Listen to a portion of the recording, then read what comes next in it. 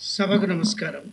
సభాధ్యక్షుడు మిత్రులు పిల్లల మఠరాములు గారు చక్కని చమత్కారాలు వినిపించిన సహపత్ర పాఠకులు వేదిక ముందున్నటువంటి యువమిత్రులు పెద్దలు మిత్రులు.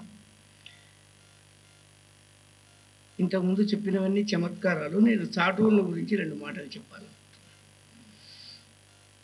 దాదాపుగా రెండు రోజుల నుంచి చాటువుల గురించి చాటువు నిర్వచనాలు చాటువులు అంటే ఏమిటి ఇవన్నీ వినుంటారు. మళ్ళీ చెప్తే ఇబ్బంది అవుతుంది. నాకు కూడా ఇబ్బంది అవుతుంది. సమయం సరిపోదు. శతకాలు తెలుగు సాహిత్యానికి పెట్టని వరాలు. ఎన్నో ప్రక్రియలు వచ్చాయి. పద్యం వచ్చింది గద్యం వచ్చింది నాటకం వచ్చింది. ఏమైనా రావచ్చు. శతకం మాత్రం ఏ సమయంలో తెలంగాణ ప్రాంతంలో పుట్టిన పాల్కురికి సోమనాథుడు భిక్ష పెట్టాడో అప్పటి నుంచి ఇప్పటిదాకా అది ప్రవహిస్తూనే ఉంది. అది శతక ప్రక్రియ యొక్క గొప్పదనం. ఏమిటి ఇందులో గొప్పదనం? అంటే ఇందులో ఉన్న నూరు పద్యాలు చాటు పద్యాల్లాగా దేనికదే? ఒక కథనో లేదా వర్ణననో అవన్నీ ఏమీ ఉండవు. ఇక్కడ కవికి ఇష్టమైనటువంటి విషయాన్ని గురించి చాటు పద్యాలు ఎట్లా చెప్తారో అని వినుంటారు మీరు చా- రకరకాల చాటువులు ఈ మూడు రోజులు. తిట్టినప్పుడు ఆవేశం వచ్చినప్పుడు కోపం వచ్చినప్పుడు ఆనందం వచ్చినప్పుడు దుఃఖం వచ్చినప్పుడు చెప్పినటువంటి పద్యాలు ఇంతకుముందు ఖగపతి అమృతము తేగ అని మిత్రుడు శ్రీధర్ చదివాడు. ఇట్లాంటి ఒక సందర్భాన్ని బట్టి పద్యాలను చెప్పడం అనేది చాటు అంటుంటాం మనం. దాదాపుగా శతకాలు కూడా వంద పద్యాలు ఉంటాయి అందులో. వంద పద్యాలు ఉన్నా కూడా అన్ని పద్యాలు దేనికది విడిగా వాటి వ్యక్తిత్వాన్ని అవి నిలుపుకుంటూ పద్యం యొక్క స్వారస్యాన్ని గొప్పగా చిత్రించినటువంటివి శతకాలు. మనకు వేమన ఉన్నాడు. వేమన సంగతి మనకు తెలుసు. విశ్వరాభిరామ వినురవేమ. చిన్న పద్యాలు అన్నీ ఆట పద్యాలు. ప్రతి పద్యము చాటువులాగానే ఉంటుంది. నాలుగే పాదాల్లో ఒక పాదం పోయింది. మూడే పాదాలు. ఎందుకంటే విశ్వదాభిరామ వినురవేమ అనేది మకుటానికి పోతుంది. ఆ మూడు పద్యాలో మూడు లోకాల సత్యాలు పెట్టాడు ఆయన. ఆశ్చర్యం ఏమిటంటే రెండే పాదాలు మిగతా పాదం మూడో పాదం దానికి దృష్టాంతమో ఉదాహరణనో ఏదో ఉండాలి. దేన్ని వదిలిపెట్టలే దేవుణ్ణి కూడా వదిలిపెట్టలేదు. పాలసాగరమున పవ్వళించిన స్వామి ఆయన శ్రీమన్నారాయణుడు పాలసాగరంలో మర పడుకుంటాడని. కృష్ణావతారం ఎత్తి వేరే వాళ్ళ ఇళ్ళలో పాలు దొంగిలించాడు. పాలసాగరమున పవ్వళించిన స్వామి గొల్ల ఇండ్ల పాలు కోరనేలా ఇది ప్రశ్న. చాటువులన్నీ ఇట్లాగే ఉంటాయి. ఎందుకట అంటే ఎదుటివాడి సొమ్ము ఎల్లవారికి తీపి అన్నాడు. ఇక్కడ దేవుడు దేవుడు అని కాదు. ఎవడైనా సరే వదిలిపెట్టలే. ఇంటి ఆలి విడిచి ఇంట్లో భార్య ఉంటే వదిలిపెట్టి ఇలా జారకాంతల వెంట తిరుగువాడు వెర్రివాడు అన్నాడు. దానికి ఒక మంచి మనకు బాగా తెలిసిన ఉదాహరణ చెప్పాడు. ఏమిటట? పంట చేను విడిచి పరిగలేరిన ఎట్లు అన్నాడు. అంటే చాటువుల్లో మనకు ఏ విధమైన బోధన చెయ్యాలో అట్లాంటి బోధన చెతక కవులు చేశారు. నరసింహ కవి అని శేషప్ప నరసింహ శతకమని శేషప్ప కవి ధర్మపురి ఆయన రాశాడు. ఎంత గొప్పగా రాశాడంటే ఇవాళకి కూడా చాలా సందర్భ శుద్ధి ఉన్న పద్యాలు. అధిక విద్యావంతులు అప్రయోజకులైరి. మనకు ఉద్యోగాలు లేవు ఏమీ లేవు. ఏమైపోయింది? పూర్ణశుంఠలు సభాపూజ్యులైరి అన్నాడు. అంతే కదా? ఇప్పుడు మనం చూస్తున్నాం. విధవలందరూ కూడా మన నెత్తినెక్కి పరిపాలిస్తున్నారు. కొడవటగంటి కుటుంబరావు గారు ఒక మాట చెప్పారు. జైళ్ళల్లో ఉండవలసిన వాళ్ళు పార్లమెంట్లో ఉన్నారు అన్నాడు. అంటే ఆ మాటను ఈ పదిహేడవ శతాబ్దంలో చెప్పాడు ఈయన. పదిహేడు పద్దెనిమిదవ శతాబ్దంలో. సత్యం మాట్లాడేవాడు చాలా గొప్ప పద్యం చెప్పాడు ఆయన. సత్యం మాట్లాడేవాడు ఎట్లా వాడైనాట వదురుపోతులాగా అయినాట సత్యవంతుల మాట జన విరోధం బాయే. ఎవడైనా వాడు కుండబద్దలు కొట్టినట్టు మాట్లాడితే వాడిని అందరూ ద్వేషిస్తారు. వదరుబోతు మాట అసకి వాసికెక్కే. అంటే దానికి వ్యతిరేకంగా ఏం జరుగుతూ ఉంది అని. ధర్మ ధర్మవాదన పరులు దారిద్ర్యముందిరి. సత్యం న్యాయం నీతి అనుకుంటే వాడికి తిండి కూడా పుట్టదు.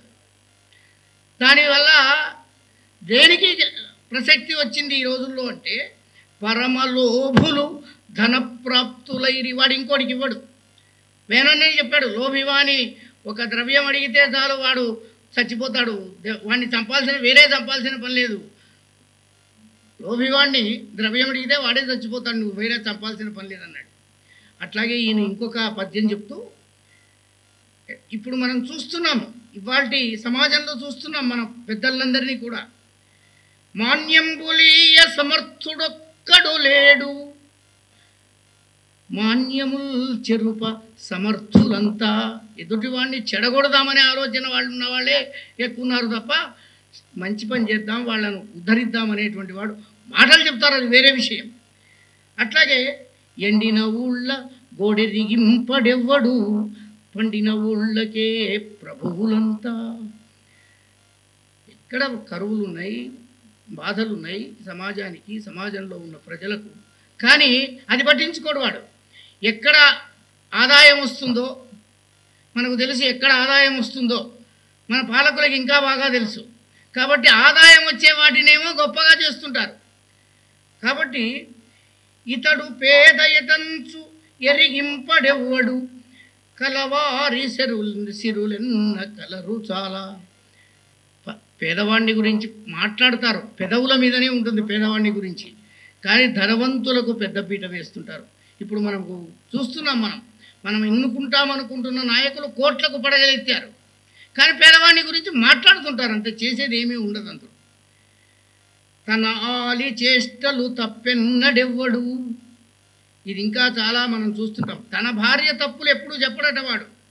పెరకాంతరంకెలు ఇతర ఇతర స్త్రీలను గురించి పెద్ద పెద్ద మాటలు మాట్లాడుతుంటాడు కాబట్టి ఇట్టి దుస్తులకు అధికారం ఇచ్చినట్టి ప్రభువు తప్పులంచు అప్పుడు రాజరికం కాబట్టి అధికారులను ఇట్లాంటి వాళ్ళు పెట్టుకుంటే ఆ రాజును మనము దండించవచ్చు అని. ఇట్లా శతకాల్లో చాలా అంటే చాలా ఉన్నాయి. అవి చెప్పడానికి సర్వేశ్వర శతకంలో అది భక్తి శతకమే. కానీ మానవ సమాజానికి సంబంధించినవి. చాటుపద్యాల్లో కవికి ఆవేశం కలిగినప్పుడు కవికి ఆనందం కలిగినప్పుడు కవికి దుఃఖం కలిగినప్పుడు కవి భావనను బట్టి అవి అద్భుతమైనటువంటి రీతిలో పద్యాలుగా ఏ శతకం చూసినా మీరు సుమతి శతకం చూడండి. అందుకని గూబల చెన్న అని ఒక శతకం ఉంది. ఆయన ఒక మాట చెప్పాడు సప్త సంతానాలోని మనకు ఉన్నాయి. అంటే చెరువులు తవ్వించడము దేవాలయ నిర్మాణాలు చేయడం ఇవన్నీ. గుడిగూలును నుయ్యిగూడును అన్నాడు. నువ్వు తోపిస్తావు చెరువు కొంతకాలం అయిన తర్వాత అది కూడిపోతుంది. గుళ్ళు కట్టిస్తావు అది కొంతకాలం తర్వాత చెడిపోతుంది. చెడనిది పద్యం ఒక్కటే అన్నాడు. పద్యం మాత్రం ఇప్పుడు ఈయన ఎప్పుడో రాశాడు పాల్కురికి సోమనాథుడు. ఇప్పటిదాకా చదువుతున్నాడు. కాబట్టి పద్యాల్లో శతక పద్యాల్లో చాటు లక్షణాలు చాలా ఉన్నాయి అనేటువంటి విషయం ఈ ఒక్క పద్యం వేమన పద్యం మనకు చాలా ప్రసిద్ధి. ఏమిటి అంటే మామూలుగా మన సమాజంలో చాలా పద్యాలు ఉన్నాయి మనకు. ఇది బాగా ప్రసిద్ధమైన పద్యం. నిక్కమైన మంచి నీలమొక్కటి చాలు. బాగా విలువైన వజ్రం ఏదైనా దొరికితే గా మంచిదే కానీ తలుగు వెలుగురాలు తట్టెడేలా అన్నాడు. అని ఒక మంచి మాట చెప్పాడు. చాటు పద్యమిలను చాలదా ఒక్కటి అన్నాడు. ఒక్క పద్యం చాలు అన్నాడు. అంటే ఒక్క పద్యమైనా చాటు పద్యంలో ఒక విధమైనటువంటి శక్తి ఉంటుంది. అంటే విన్నవాళ్ళు ఇప్పుడు చమత్కారాలు విన్నారు. వినగానే మన హృదయం ఒక ఆనందానికో సంతోషానికో బాధకో దేనికో ఒక దానికి స్పందిస్తుంది. అంటే నేరుగా ప్రజల హృదయాల్లోకి వెళ్ళగలిగినటువంటి శక్తి చాటు పద్యాలకు ఉంది. ఆ లక్షణం అన్ని శతకాల్లో ఉంది.